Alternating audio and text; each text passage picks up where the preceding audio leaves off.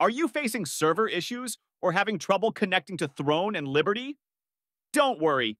In this video, I'll walk you through some easy to follow steps that have worked for other players. Let's dive right into it. Solution 1. Restart the game. Sometimes a simple restart is all it takes to get back in the game.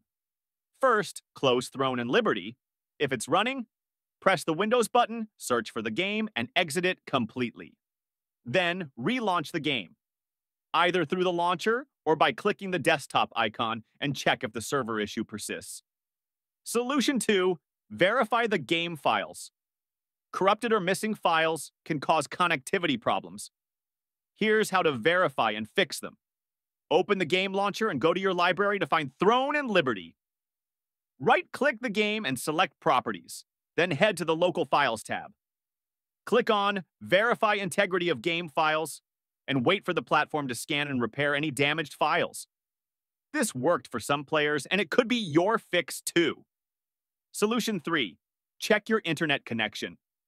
A stable internet connection is crucial for an online game.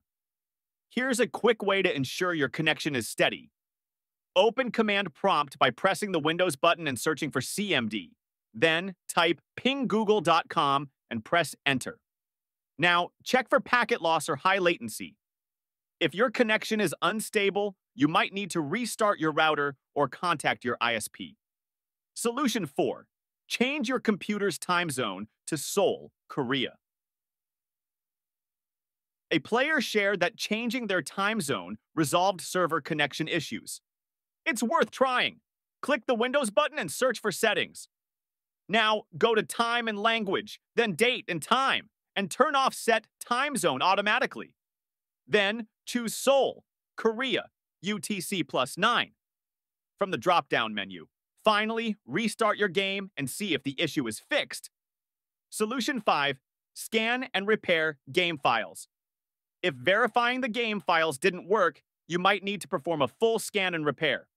Open the game launcher and look for the option that says Scan and Repair, usually in the settings or the launcher's main menu. Then let the launcher scan your game files and automatically repair any issues it finds. Solution 6. Check server status. Sometimes the issue isn't on your end at all. Servers could be down for maintenance or overloaded.